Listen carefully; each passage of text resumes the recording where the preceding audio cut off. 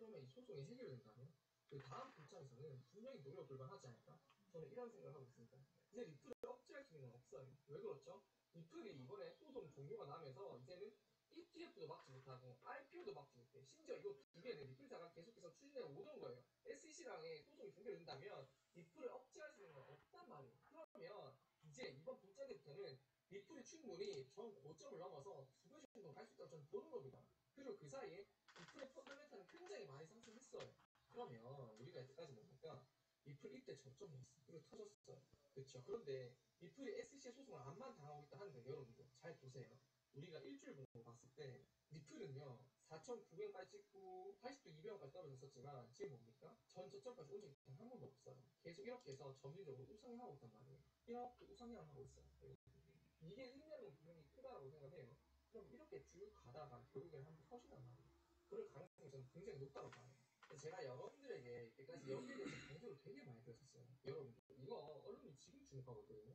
8월 8일자죠. 100만 개에서 1000만 개 XRP 보유 지갑이 보유량이 사상 최대이다. 이거는 세력의 매집이 역대 최다였고 세력의 준비라는 것이 끝냈다는 거예요. 근데 언론은 지금 주목하고 있어. 저는 여러분들에게 매번 여기에 대해서 말씀드렸어요.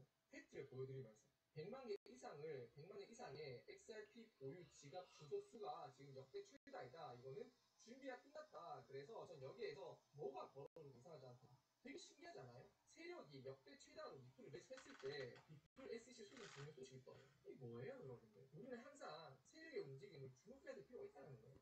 그 주목을 누가 합니까? 제가 하죠, 제가. 이런 걸 통해서 소송 종료가 얼마 남지 않았을 것 같다. 그리고 그 소송 종료는 승소로 끝날 것 같다. 라고 말씀드리는 근거랑 배경이 이런 데 있다는 거예요. 그리고 제 말이 틀릴 수가 있겠지. 하지만 저는 그런 것들을 종합해서 봤을 때 리플이 그래도 전 고점의 두 배인 이 만 원은 낙관적으로 갈수 있지 않을까 생각한다는 거예요. 그리고 또 두 번째, 도박하시는 분들은 리플 투자 왜 하세요? 선물, 선물 시장 들어가시면 돼요. 선물에 100배, 레버리지 100배 땡겨가시고요. 그냥 하루에, 선물 치면요. 하루에 만 퍼센트 볼 수 있습니다. 하루에 30% 올랐다고 기분 나빠할 게 아니고요. 애초에 성격이 달라요. 아무튼 그런 저는 리플을 꾸준히 존버하다 보면요. 제 개인적인 생각입니다. 저는 리플이 비상할 거라고 생각해요. 그리고 지금 드디어 그 마지막 퍼즐이 맞춰진 느낌이에요. 마지막 퍼즐이자 최초의 퍼즐이에요. SEC와의 소송이 종료되고 나면은 리플이 어떤 사고를 칠지 다 짐작이 되거든요. IPO? 물론 예정되어 있는 거겠지만 얼마만큼의 자금을 쏟을지 몰라요. 기대가 되죠. ETF? 아, 너무 기대가 되지. 그런 10만 개 XRP를 보유하고 있습니다. 나중에 누가 승자가 될지 물론 제가 패자가 될 수 있습니다. 하지만 저는 XRP를 통해서 크게 돈을 버는 모습을 여러분들에게 증명하고 싶어요. 그렇기 때문에 저는 이때까지 리플 이때까지 공부하면서 마이너스 몇 천만 원도 나갔고 플러스 몇 천만 원도 나갔어요. 하지만 흔들리지 않는 거예요. 왜? 미래를 보고 있으니까. 이거 쉽지 않은 거 여러분들께서 더 잘 아시겠죠? 그런 저는 리플 만 원을 바라봅니다. 여러분 오늘 영상이 도움 되셨다면 구독과 알람 설정 부탁드리면서 다들 통수하시기 바랍니다. 여러분 이제 8월 10일까지 며칠 남지 않았어요. 그래서 보시면은 실제로 비트코인 M만 떨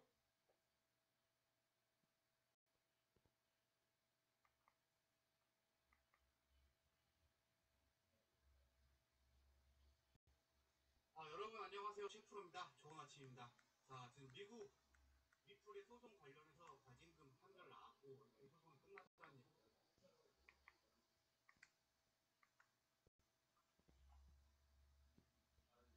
네, 그렇게 시청자 여러분 작가입니다. 네, 비트코인 가격이 주요 구간을 넘어서 네, 그렇게 시청자 여러분 반갑습니다. 작가입니다. 네, 비트코인 가격이 주요 구간을 넘어서지 못하면서 중기부진 기술을 이어가고 있습니다. 반면에 이제 리플은 단기적으로 가격이 크게 상승을 했습니다.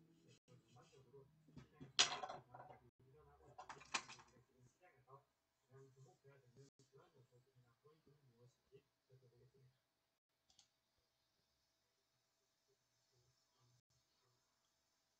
네, 오늘 영상이 도움이 되셨다면 구독, 좋아요, 댓글 알림 설정 정중히 부탁드립니다. 네, 지금 비트코인은 여전히 정치적인 환경에 좀 영향을 많이 받고 있습니다. 그리고 어제 비트코인뿐만이 아니라 이 삼성 지수가 또 모두 다 하락으로 마감을 특히나 나스닥 같은 경우는 또1% 이상 하락을 했고 이테크를 살펴보시면은 뭐 엔비디아 같은 경우는 1% 이상 하락을 하면서 전반적으로 아주 부진한 모습들을 이어가고 있습니다. 자, 그리고 비트코인 현물 ETF에서도 지난주부터 계속해서 입주세가 이어지고 있습니다. 그만큼 전반적으로 지금 자산 시장이 여러 가지 불확실성에 의해서 지금 압박을 받고 있다라는 걸로 볼 수가 있는데요. 네, 어제는 굉장히 좋은 소식들이 있었습니다.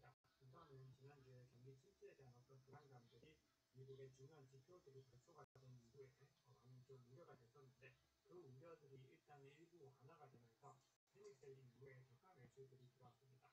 네, 그리고 자산 가격의 하락에 직접적인 영향을 미친 것이 일본은행이 금리를 인상하면서 이 엔 carry trade가 청산된 부분들이 있었죠. 그런데 이번에 재무상과 금융청 그리고 일본은행이 3자 회담을 통해서 금융 불안 시에는 더 이상 금리 인상을 하지 않겠다라고 계획을 밝히면서 시장에서는 굉장히 좀 화색이 돌았습니다.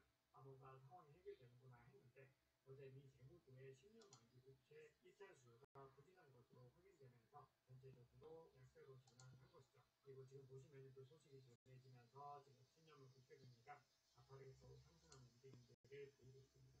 네, 그래서 여전히 시장에서는 불확실성들이 완전히 걷히지 않았다라는 부분들을 중요하게 보셔야 됩니다. 그래서 땡케리 트레이드 대한 아직까지 청산 규모가 50에서 60% 수준이기 때문에 추가적으로 가능하다라는 대기 로건의 분석이 있고요. 그리고 지금 이란과 이스라엘의 어떤 갈등들이 전면적으로 번질 수 있는 그런 상황들이 계속 구성이 되고 있습니다.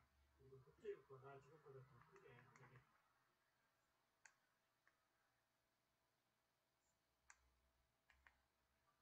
개인적으로는 국제 기구들의 어떤 비트코인에 대한 스탠스에 대한 시선 구체적으로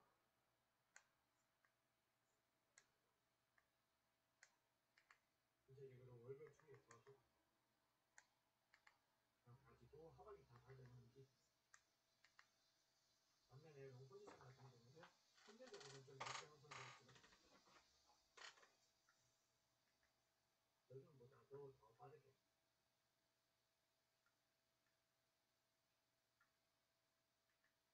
그리고 중요한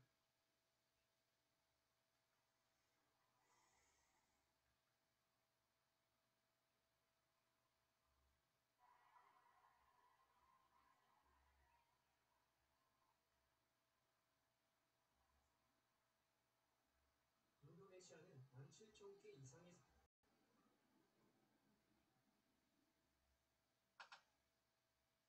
제가 변호사니까 일이 뛰어가지고 등기부 보면서 말씀드리는 게 편할 것 같아서 토지 제일 위에 주소가 나옵니다. 마 안녕하세요. 운동상 김노원입니다. 오늘은 제가 그 사람과의 행전전에서 말씀을 드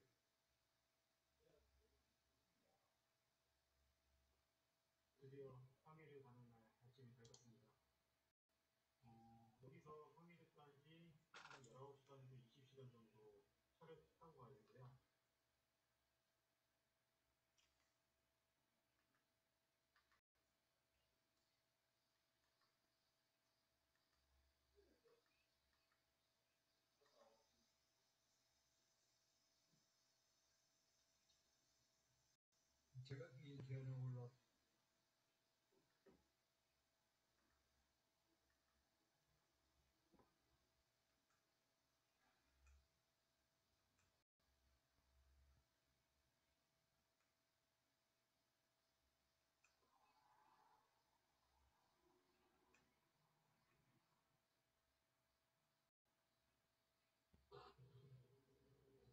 President, we so appreciate you giving us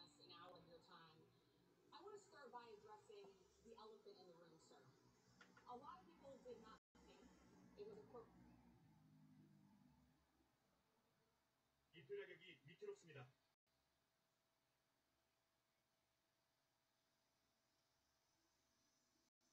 안녕하세요. 호인머입니다. 오늘은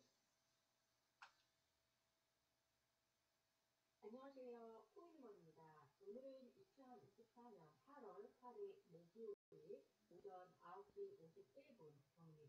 구독과 좋아요, 알림 설정, 정리를 부탁드리면서 오늘 영상 시작하겠습니다. 오늘은 끝으로 기다리고 기다리던 날입니다. 이렇게 기분이 좋은 날에 생각보다 담담하게 방송할 수 있다는 것이 매우 놀랍기도 하면서 또 오랜 기다림이 우리 구독자분들과 함께 인내심을 키웠나 보다 라는 생각이 듭니다. 우선 오래 기다려주신 리플 XRP 투자자분들 모두 축하드리면서 방송을 시작을 하겠습니다. 리플 XRP가 업비트 기준으로 약 912원 정도까지 올라갔다가 현재 일부 조정을 받으면서 약 830원 50원 정도에서 가격을 가리키고 있습니다. 리플과 HNC 소송, 프레 판사의 최종 판결은 리플의 큰 승리로 종결이 되었습니다. 우선 토레스 판사는 리플에 대한 벌금을 약 1억 2,500만 달러를 선고했습니다. SEC가 요구했던 벌금이 아실 텐데요. 약 20억 달러의 벌금을 받아야 한다고 했었는데 SEC가 요구한 벌금의 약 6%만 인정해서 판결이 된 것입니다. 어, 이 부분에서 역시 법 앞에 판결이라는 것은 이미 행해진 일에 대해서 증거 베이스로 이루어진다는 것을 다시 한번 확인시켜 주었습니다.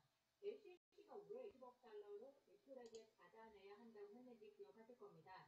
쉽게 표현하면 리플이 한 행위가 매우 때문에 앞으로 추가적인 위반을 못하게 하고 또 업계에 긴장감을 주기 위해서 해당 벌금이 필요하다는 이야기를 했었는데요.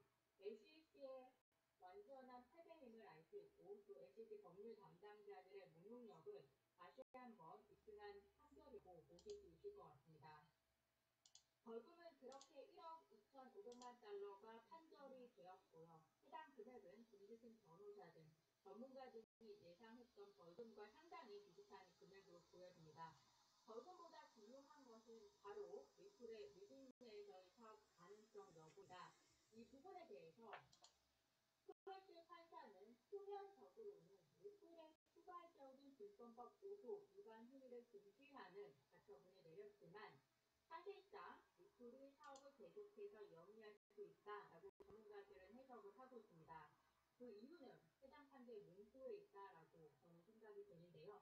바로 증권법 5조 위반 행위를 금지하는 가처분이기 때문에 증권법 5조를 위반하지 않으면 된다라고 바꾸어 생각해 보실 수 있을 것 같습니다. 제 의견보다 전문가들의 의견 먼저 소개해 드리겠습니다. 제레미인컴 변호사가 이렇게 소송과 관련해서 빠르게 수익의 반응을 보인 적이 많지는 않았는데요. 이번에는 어떤 전문가보다 더 빠르게 해당 판결문에 대해서 평가를 하고 있습니다. 제레미 호건 변호사는 우선 토레스 판사의 최종 판결은 리플의 큰 승리이다 이렇게 평가를 하면서 리플의 ODL 판매에 대해서 의문점이 있지만 현재 리플의